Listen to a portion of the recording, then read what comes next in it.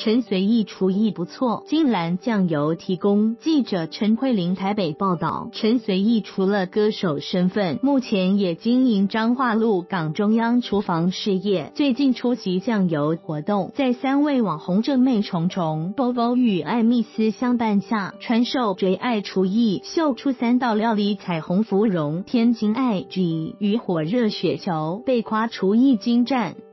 做菜也可以很浪漫。陈随意说，当年为赢得歌手老婆谢怡君芳心，花了一年时间，每天到府烧菜给丈母娘吃，终于把谢怡君娶回家。